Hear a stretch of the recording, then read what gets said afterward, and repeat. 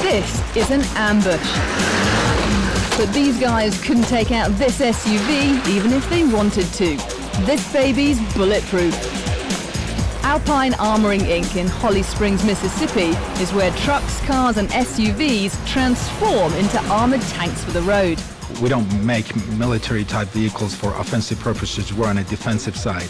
So we're out there to save lives, whether in the streets of a city or in a war zone. This is the vehicle we have to be careful with. In today's security conscious world, business is booming.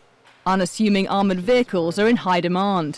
When it comes to personal protection type vehicles, to maintain a low profile look is uh, essential. What that means is the vehicle has to look exactly what it uh, came in as as it leaves. To turn an average vehicle into a tank, they first gut it. You start stripping it uh, naked to the point that is all shells, and you have basically nothing but the skeleton of the vehicle. Once it's totally naked, they bring in the armor. You cocoon the whole vehicle to the point that the occupants are absolutely safe, regardless of what direction, what angle, and there is zero probability of impact coming to the vehicle.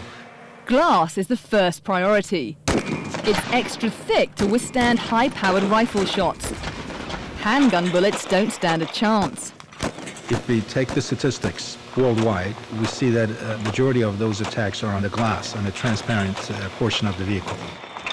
The battery gets its own special encasing. A battery essentially is, is considered an explosive material because of the acid in it and all the electrical uh, wiring and so forth. So potentially you could have fire as a result, and the same with fuel. Fuel is also a, an area of that you don't want to be spilled elsewhere and all of a sudden you have a fire. You want to prevent all that. Thick steel would be the perfect protection for a vehicle, but it's not practical. The problem is the steel weighs a lot more, four or five times more actually. That adds a lot of weight to an SUV or a regular passenger cars. Thereby, you have to modify the whole suspension, the brake system, uh, shock absorbance and all that to maintain the gross vehicle weight of this vehicle to be still street legal. Fixing up the suspension is only part of the solution. Finding a lighter material with the same strength as steel is another. So today they're putting some composites to the test. This particular rifle will fire a round that will cut through a normal car like it was Swiss cheese. They're hoping these materials will withstand a heck of a lot more than that. In this case, we have uh, Dyneema, which is this material right here.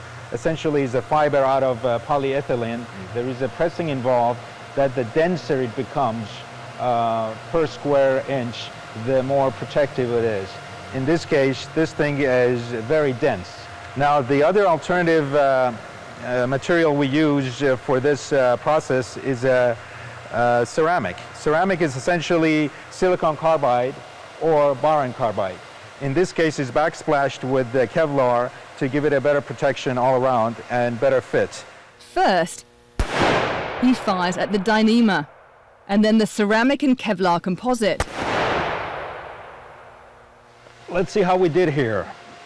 Okay, as you can see, there's a huge bulge here, and this thing did not penetrate. There's so many layers inside, as you can see. The bullet is stuck in there. So Dyneema withstood the attack very easily. But on the other hand, the other composite material, the silicon, in this case, uh, failed. They'll use steel and Dyneema to encase most of the vehicle, but the ceiling is another matter. They'll need something even lighter. The last thing they want is a top-heavy SUV, so they'll use Kevlar. So we tend to do this by adding the lighter material to the roof and then heavier material to the, to the floor and proportion it so that the center of gravity is exactly where we want it to be. A heavily fortified steel floor and tires offer protection against bombs. With those, floor protection and use and run flats play a big role. The higher the protection for the floor, the more it absorbs, like a mine attack or of some sort. Finally, the product is finished. Surely now it can stand up to a couple of measly bullets. Obviously, it's a sad statement that uh, we all have to worry about security every day more and more. But at the end we feel good that we save lives because ultimately that's what counts.